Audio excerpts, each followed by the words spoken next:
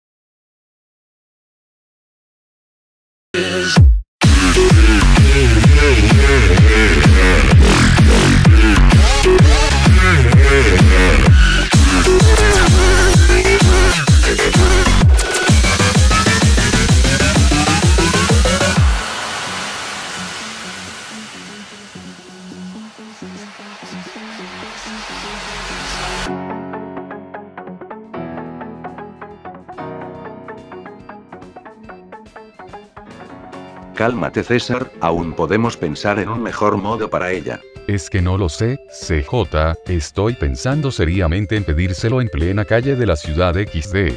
No jodas, no lo veo necesario, podríamos hacerlo en la mansión de Mad Dog, junto con todos nuestros conocidos. ¿Estás seguro? La mansión de Mad Dog, joder, pues no parece un mal lugar para pedirle matrimonio a Candy después de todo. Mi hermano dice que no hay problema, ya lo he hablado con él antes, y él opina que es una buena idea, estoy seguro que a Sweet también le gustará.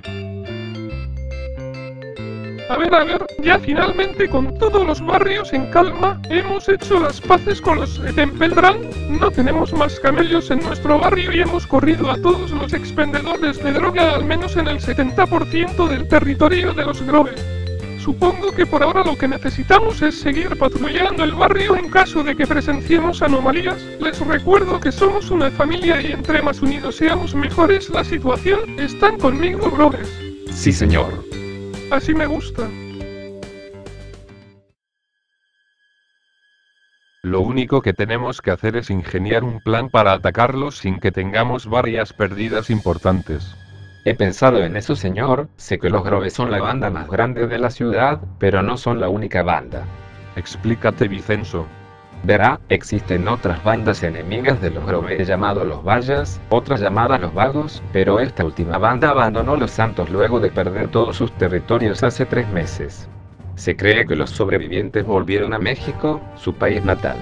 Estás tratando de decirme que pese a todo, aún quedan sobrevivientes de todas las bandas, ¿no? Así es, señor.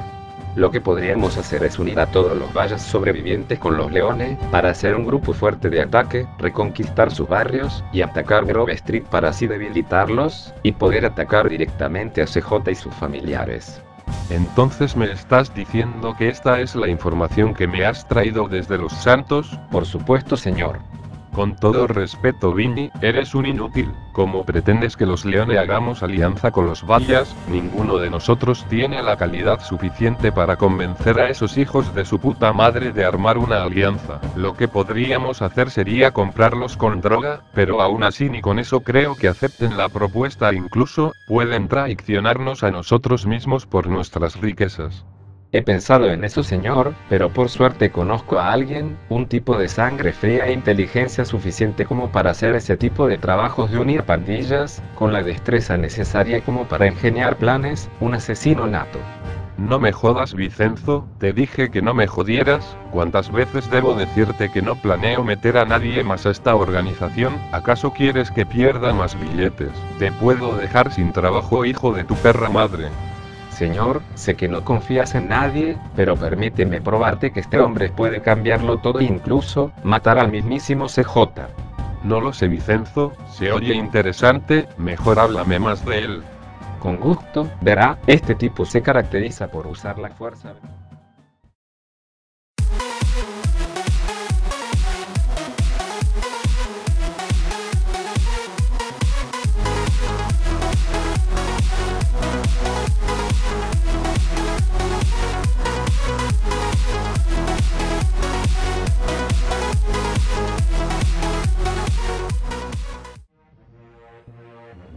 Pero ¿quién es este idiota que se ha tomado nuestro lugar de la mesa? Oye, creo que no me conoces. Tengo más dinero que tu puta madre, te pediré que te vires de mi mesa o te romperé todo lo que se llama espalda hijo de...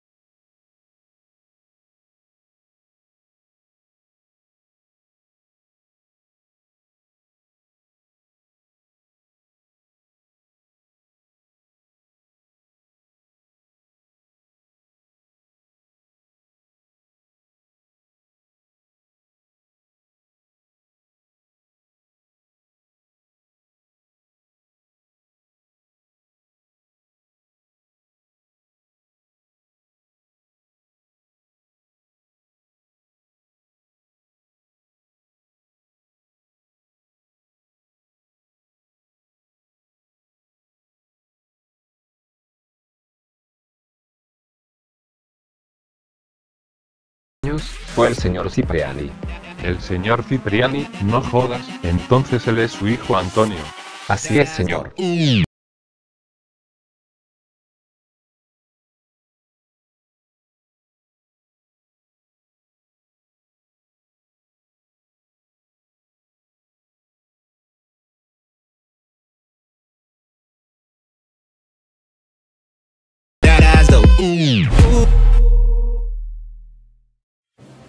No pierdas ni un mísero segundo más, y márcale al chico. Supe que confiarías en mi jefe.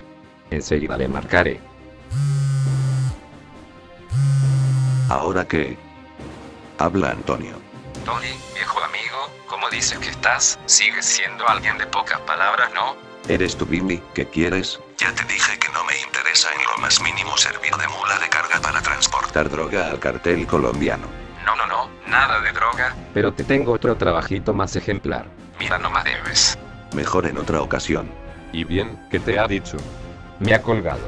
Toda la vida un gilipollas no, dame su número, yo mismo hablaré con él. De acuerdo, señor. Joderme otra vez. ¿Estarás seguro de volver a dejar la llamada? Antonio, ¿Qué? ¿Con quién cojones estoy hablando? No tengo tiempo para este tipo de cosas. Ni siquiera tienes tiempo para el capo de la mafia, Salvatore León, Dios, Salvatore León, de la familia Leone. el mismo chico. Joder, mi padre fue un leone. Mi madre estaría orgullosa de saber que he seguido los caminos de la mafia al igual que mi padre. Pues estoy hablando con el mismísimo Salvatore León. Es agradable saber que aún quedan fans. No tengo ni idea si Vindy ya te lo contó, pero estoy buscando a alguien que trabaje para mí. Es un asunto muy personal. Háblame del tema. Lo haré. Te espero en mi casa mañana a las 3 de la tarde, podremos conversar lo suficiente. Por supuesto, cuente con mi presencia. Allá estaré. No faltes. Adiós. Y bien, ¿qué te ha dicho? Lo que a ti jamás te diría soplabolas, mañana tendré el gusto de conocer al hijo del señor Cipriani, solo espero que no me defraude. Ahora si me disculpan, tengo otros asuntos que atender. Adiós. Ahí estás hijo de puta, ya verás cómo acabo con tu bastarda vida. Ya es hora de que la gente deje de verme como una basura más que habita en esta ciudad.